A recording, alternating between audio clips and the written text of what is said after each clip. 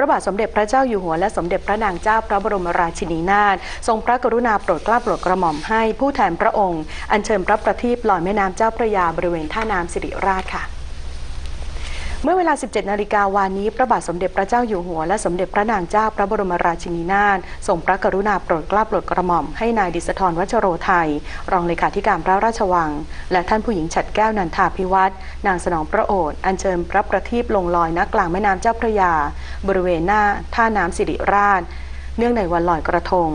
โดยนายดิษฐรวัชโรไทย รองเลขาธิการพระราชวังเป็นผู้อัญเชิญพระประทีปของพระบาทสมเด็จพระเจ้าอยู่หัวไปยังท่าน้ำสิริราช ก่อนจะลงเรือตรวจการที่กองทัพเรือได้เตรียมไว้แล้วนำไปลอยกลางลำน้ำเจ้าพระยา ในเวลาต่อมาท่านผู้หญิงฉัดแก้วนันทาพิวัตรนางสนองพระโอษฐ์ในสมเด็จพระนางเจ้าพระบรมราชินีนาถเป็นผู้อัญเชิญพระประทีปของสมเด็จพระนางเจ้าพระบรมราชินีนาถ นำไปลอยอยังแม่น้ำเจ้าพระยา ที่บริเวณท่าน้ำโรงพยาบาลสิริราชด้วย โดยมีประชาชนที่ทราบข่าว มาคอยเฝ้ารอชื่นชมความงดงามจำนวนมาก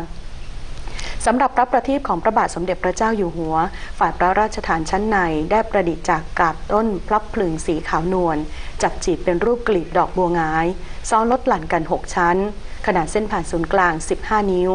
ด้านบนของพระประทีปเป็นพุ่มเครื่องทองน้อยทำจากดอกบานไม่รู้โรย ใช้สีเหลืองตามวันพระบรมราชสมภพ